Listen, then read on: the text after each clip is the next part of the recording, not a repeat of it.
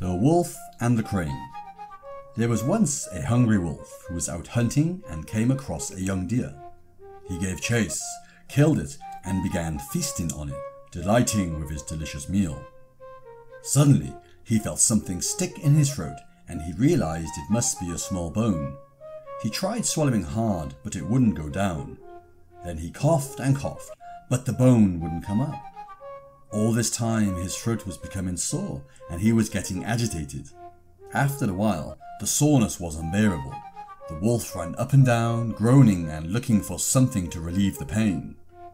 Desperately the wolf sought out other creatures to help him and begged them to try to remove the bone. I would give anything, he gasped to them, if you would take it out. But of course, most creatures were afraid of the wolf and would have nothing to do with him. At last, the crane agreed to try. The brave bird told the wolf to open his jaws as wide as he could. Then, trying not to think of the sharp teeth, the crane put a long neck down the wolf's throat, and with her beak loosened the bone until it came out. The wolf was hugely relieved and leapt about for joy. Now will you kindly give me the reward you promised? asked the crane. The wolf grinned and showed his teeth again, saying, Be content, you have put your head inside a wolf's mouth and taken it out again in safety. That should be reward enough for you.